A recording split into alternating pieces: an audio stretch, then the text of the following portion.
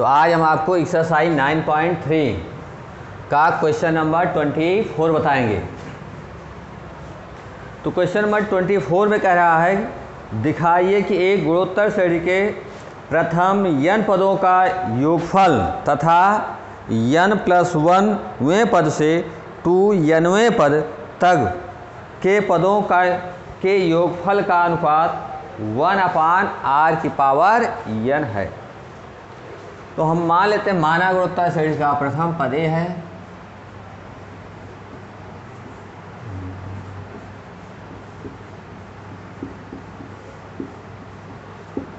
माना गुणोत्तर श्रेणी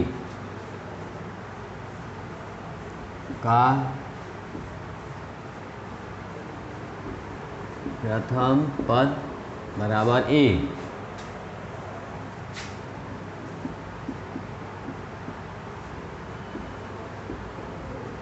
सार अनुपात बराबर आर माना श्रेणी का प्रथम पद बराबर ए सार अनुपात बराबर आर इसलिए श्रेणी बराबर a a r a r square, a r cube dot a r power n minus one, a r power n, a r power n plus one a r की पावर टू एन करा दिखाई गुणोत्तर श्रेणी के प्रथम यन पदों का योगफल।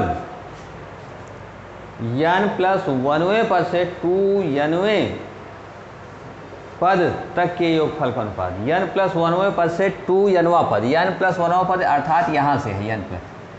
यहाँ a a r a r square a r cube dot dot a into r power n minus one ये एक से लेकर के यन पद है। गुणोत्तर श्रेणी का यनवा पद टी एन बराबर होता है a into r power n minus one तो इस प्रकार से a a r a r square a r cube dot dot a r power n minus one ये यन पद हो गए। फिर यन प्लस वनवा पद का रहा?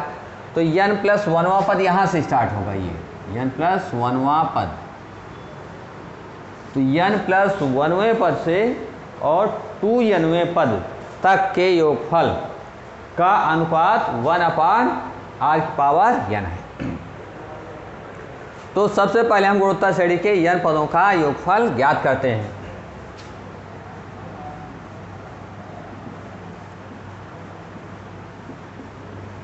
इसलिए गुणोत्तर श्रेणी गुणोत्तर श्रेणी के गुणोत्तर श्रेणी के यन यन पदों का है। गुणोत्तर श्रेणी के यन पदों का योगफल।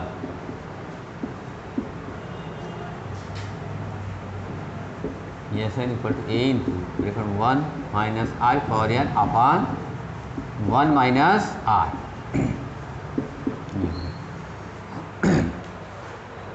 गुणोत्तर श्रेणी के यन पदों का योगफल। जहाँ r is less than one माना गया। R is less than one तब ये। अब इसलिए यन प्लस वनवें पद से टू यन पदों तक का योगफल ज्ञात करना है। तो हम इस गुणोत्तर श्रेणी के एक से लेकर के टू यन तक पदों का योगफल ज्ञात कर लें। फिर उसमें से यन पदों का योगफल हम घटा दें। तो यन प्लस वनवें पद से टू यनवें पदों तक का योगफल ज्ञात हो जाएगा। मतलब एक से लेकर के आप टू यन पदों तक योगफल ज्ञात कीजिए पहले। फिर यन पदों के योगफल आप घटा देंगे तो यन प्लस वनवें पद से लेकर के टू यन पदों तक का योगफल ज्ञात हो जाएगा। तो इसलिए यस टू यन का मान निकालते हैं। S two n. S, two n equal to होगा a into the one minus r की पावर टू एन।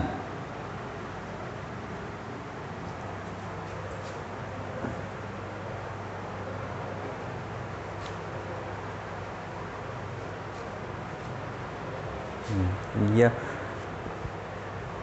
या एन प्लस कर है एन प्लस वनवे पद से टू एन पदों तक का योगफल ज्ञात कर लीजिए। डायरेक्ट ही n plus one n plus one way पद से टू एन टू एन पदों का योगफल S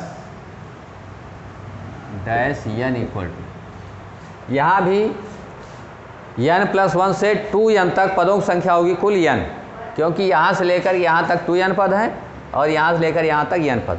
तो टू एन पदों में से एन पद आप घटा देंगे तो ये इनकी संख्या होगी एन तो इसके लिए प्रथम पद ये मान लीजिए, a into r power n a into r power n और वन माइनस सार वही रहेगा, आर तो आर की power n upon one minus r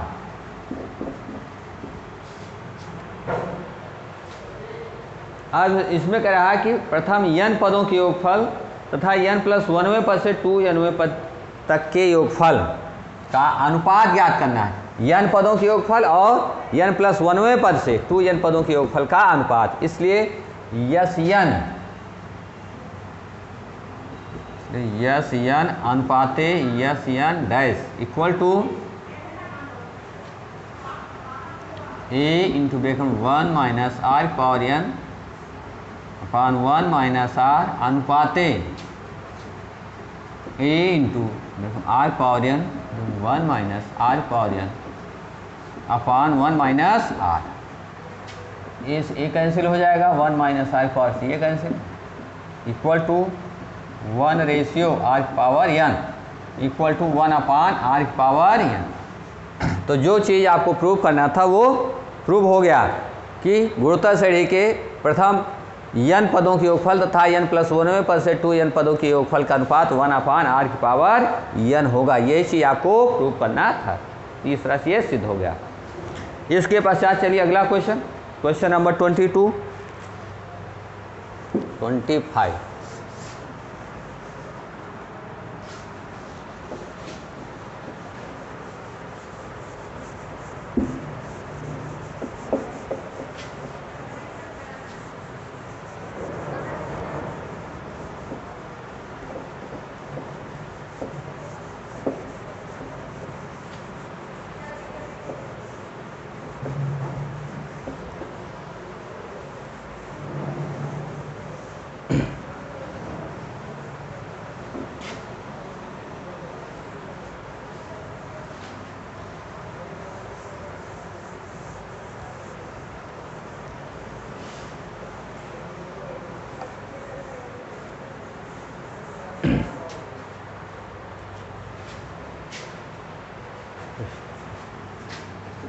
Exercise 9.3 का क्वेश्चन नंबर 25 देखिए। तो क्वेश्चन नंबर 25 कह रहा है, यदि ए बी सी डी गुणोत्तर श्रेणी में है तो दिखाइए कि। तो चूँकि ए बी सी डी गुणोत्तर श्रेणी जीपी में हैं, इसलिए b upon a equal to c upon b equal to b upon c equal to r इसलिए पदों के बीच का अनुपात बराबर होगा। तो इसलिए b upon a equal to c upon b equal to d upon c equal to r तो इसलिए b upon a equal to r या इसलिए बी बराबर ए आर और c upon b equal to r तो c equal to b r b का मान यहाँ से रखेंगे। तो a r into r a r square c equal to d upon c equal to r तो d equal to c into r फिर सी मान रखेंगे a r square into r तो d equal to a r cube तो इस प्रकार से b equal to a r आ गया, c equal to a r square आ गया, d equal to a r cube तो इस तरह से बी सी डी का मान आर के पद में ज्ञात हो गया। अब इसके पश्चात हमें सिद्ध करना, प्रूव करना है कि a square plus b square a square plus b square plus c square into bracket b square b square plus c square plus d square equal to in bracket में a b plus b c plus c d a b plus b c plus c d का whole square ये चीज़ prove करना है। तो इसके लिए हम बाया पक्ष लेते हैं। लेफ़्ट हैंड साइड तो L H S equal to in bracket a square plus b square plus c square b square plus c square plus d square a square b के साथ ए आर रखेंगे। तो A R का whole square plus c square c के साथ A R square होगा।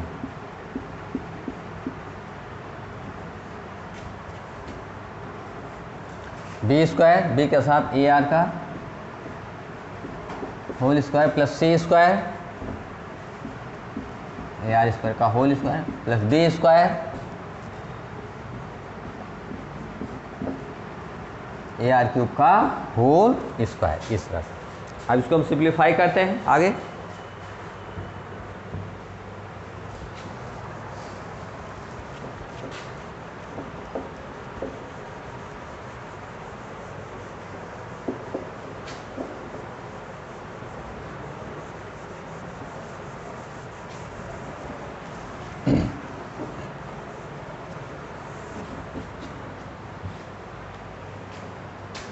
Equal to a square plus a square into r square. Plus a square into r power four. इसका work करेंगे a square into r square. Plus a square into r power four. Plus a square into r power six. अब इसमें हम common लेंगे। ए square common लेंगे। One plus one plus r square plus r power four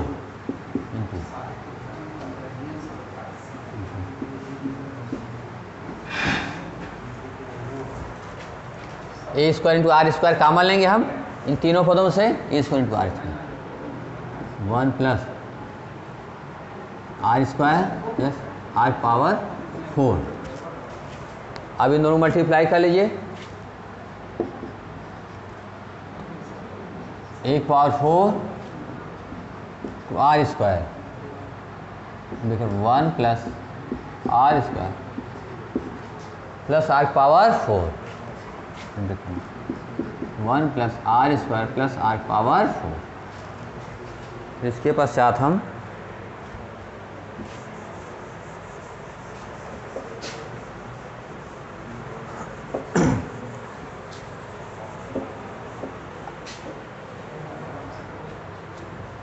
equal to एक power four into r square देखकर one plus r square plus r power four का whole square इसके पश्चात हम राइट हैंड साइड लेते हैं R H S R H S equal to दिया है a b plus b c a b plus b c plus c d का whole square अब इसी में हम वैल्यू रखेंगे. ए बी सी वैल्यू तो ए के प्लेस ए रहेगा ही बी के साथ ए आर होगा प्लस इस बी के साथ ए आर सी के साथ ए आर स्क्वायर यहाँ पर ए आर स्क्वायर और डी के स्थान पर ए आर क्यूब का होल स्क्वायर सिंप्लीफाई कर लीजिए. A square into r plus a square into r cube और plus a square r power five का होल स्क्वायर फिर अब इसमें से हम ए स्क्वायर इंटू आर इतना कामन लेंगे। तो जब A square into R common लेंगे तो ए स्क्वायर इंटू आर का होल स्क्वायर बाहर निकलेगा, क्योंकि पूरे का स्क्वायर है तो ए स्क्वायर इंटू आर का होल स्क्वायर इतना बाहर निकलेगा। यहाँ वन बचेगा। प्लस यहाँ पर आर आर स्क्वायर बचेगा, यहाँ पर आर पावर फोर बचेगा, का होल स्क्वायर। तो इसलिए L H S equal to R H S जो चीज़ आपको प्रूव करना था वो आ गया। यहाँ से आप देख रहे हैं, संबंध एक से कि एल एच एस की वैल्यू आ रही एक power four into R square इन ब्रेकेट में। One plus R square plus R power four का होल स्क्वायर। और यहाँ देख रहे हैं आप, रिलेशन सेकंड से राइट हैंड साइड की जो वैल्यू आ रही है ए स्क्वायर इंटू आर का whole square one plus R square plus R power four का होल स्क्वायर इसलिए L H S equal to R H S जो चीज़ आपको प्रूव करना था, वो प्रूव हो गया, सिद्ध हो गया। इसके पश्चात हम अगला question question number twenty six आपको बताएँगे। तो क्वेश्चन नंबर ट्वेंटी सिक्स देखिए।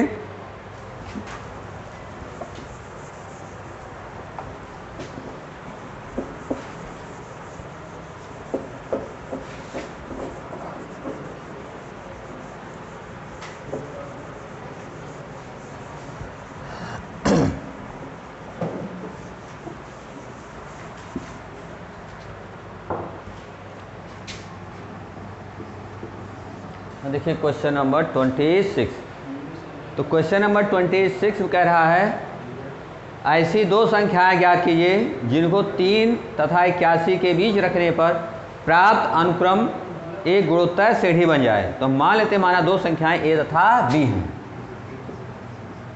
माना दो दो संख्याएँ दो संख्याएँ ए तथा ए तथा बी हैं। तथा भी हैं जिनको,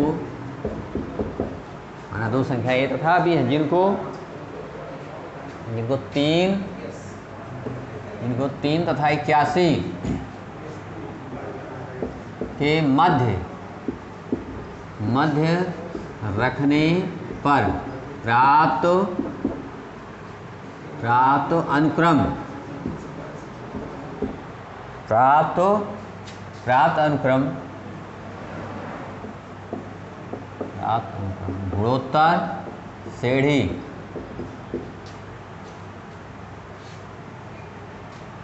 रखने प्राप्त उनको गुणोत्तर सीढ़ी में।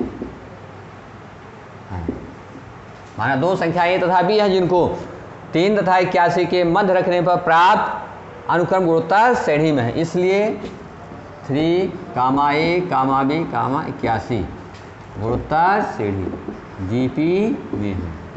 इसलिए T two upon T one इसलिए A upon three equal to B upon A equal to A T one upon B होगा। अर्थात दूसरे पद और पहले पद के बीच का अनुपात, दूसरे और तीसरे के बीच का अनुपात, और चौथे और तीसरे पद के बीच का अनुपात बराबर होगा। तो इसलिए अब आप इन दोनों संबंध लीजिए तो इसलिए ए स्क्वायर इक्वल टू होगा A square equal to three B संबंध एक आ गया। और यहाँ से बी स्क्वायर इक्वल टू होगा बी स्क्वायर इक्वल टू होगा इक्यासी ए संबंध दो।